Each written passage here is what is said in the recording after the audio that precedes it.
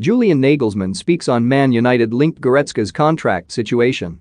It has been clear for a while now that the Reds need reinforcements in midfield. Nemanja Matic is now past his best, leaving United without a quality defensive midfielder.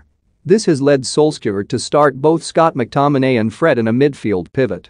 However, this selection creates a number of problems, forcing Paul Pogba to be played out of position even more concerning, though, is the fact that, even when Fred and McTominay start together, United's midfield can still look shaky at times.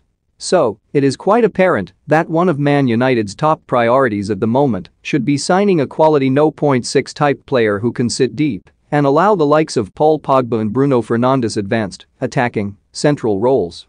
One central midfielder to have been linked with the Red Devils of late has been Bayern Munich's Leon Goretzka. Reports stemming from Germany linked United with a move for the German last month.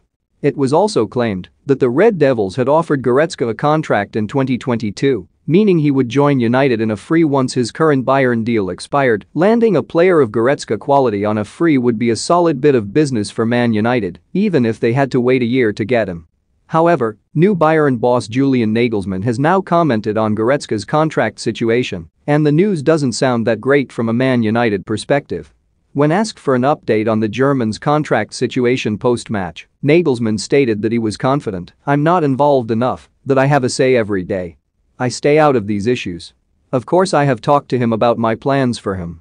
I've told him I'd be happy if he extended, and I'm also confident. There are several topics involved when it comes to discussing a contract extension. I'll continue to focus on the sports side of things and show him he can be one of the most dangerous midfielders in Europe. He has potential to get even better. Quotes via goal.